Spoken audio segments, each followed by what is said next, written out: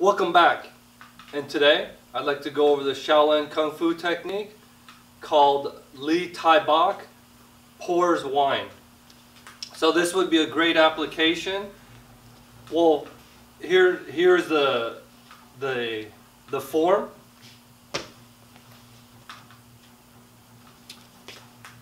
And this would be a perfect technique that you could apply if someone was to grab your arm.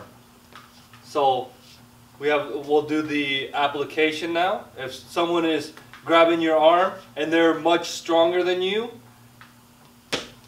here, just coming over, right, digging right into the forearm, or even into the elbow, or the, even if you need to go higher, you can go into the bicep, or you can even go to the fist, to the face.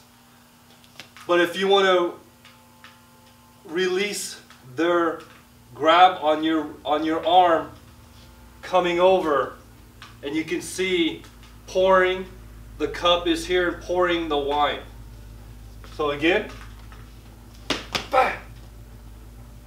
now at a different view so you can see uh, at a different perspective. Someone was to come up and grab. Here coming straight down from from the from the heaven and coming straight down right into the forearm. Now, faster. Bang! And there you have it, friend. Li Tai Bak pours wine. Until next time, have a great day.